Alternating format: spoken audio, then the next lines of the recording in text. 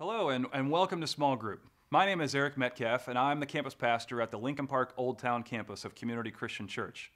A little known fact about us not only we are the most recent campus of Community Christian Church, we also meet in a historic ballroom once owned by Al Capone. And I'm Brian Warner, and I serve as the campus pastor at our Naperville downtown campus. You may not know this, but we're a portable location that meets in Wentz Concert Hall.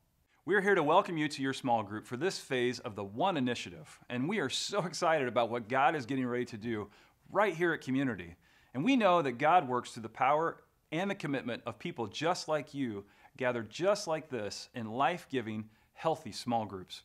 You'll find the discussion questions both easy to understand and difficult to wrestle with.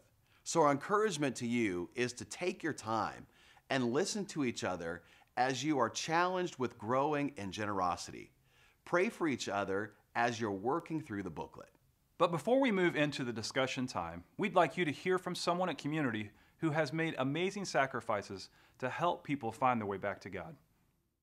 Hi, my name is Greg Sink, and this is my wife Debbie. We have four kids, and we've been attending community for a year and a half.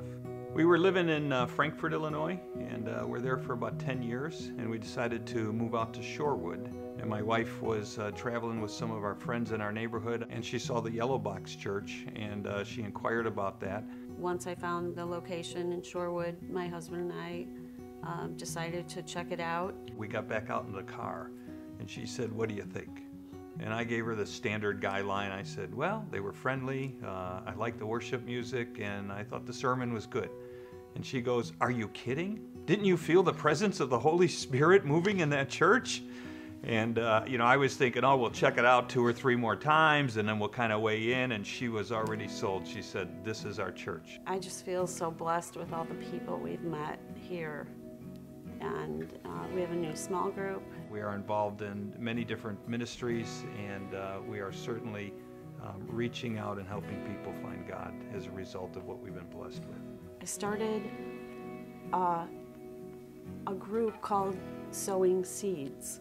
I have a sewing room in my home, and um, so far I have two teenage girls, and I'm teaching them to sew, and they absolutely love it. I'm mentoring them. It's wonderful. They love it, and I get a lot out of it too.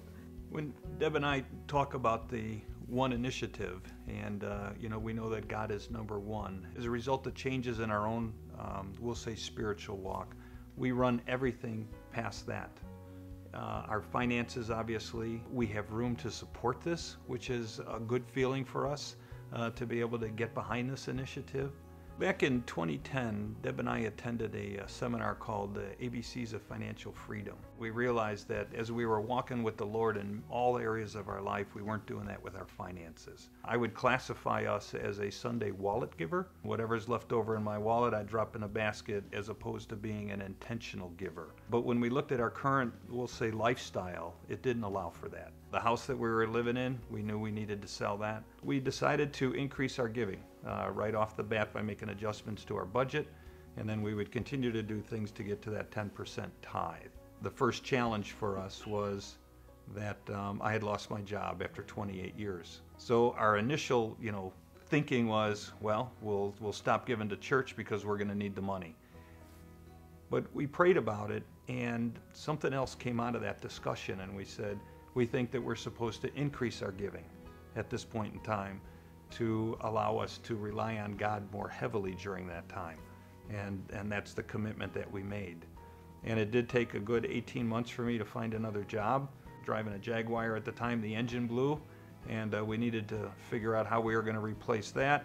We looked at our budget and our plan and said, Jaguar doesn't fit that. Went to CarMax and I bought a Chevy Cobalt 2010. And uh, I still drive that car today, and it's just a gentle reminder every day that I'm on a mission for God. It's God's money, it's not ours. Um, everything we have was because of God. He's going to do so much with it, and we're going to be blessed by it. As I look back at our own personal situation, I was building up walls uh, within me and within our family of allowing God not being able to come in and work in and through us. If anybody's out there and they're thinking about, you know, hey, your story sounds like mine, I'm hanging on too, I'd say let go and let God because I can guarantee you that when you're a few years down the road, you will look back at that and you will say, wow, God has done a mighty work, and I am truly blessed as a result of that. God, is number one, and we are one on this mission.